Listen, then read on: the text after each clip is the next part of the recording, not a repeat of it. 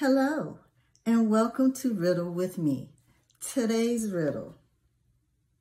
When we're doing this, it is too hot to handle. Oh my goodness. You never want to get too close to me. You might want to move if I say go. You might want to be more direct when you're dealing with me. You might want to check your temperature so that you don't hurt me. You might want to decide if you want to be hot or cold. You want to make sure when you're stretching me, I'm ready to go. What am I?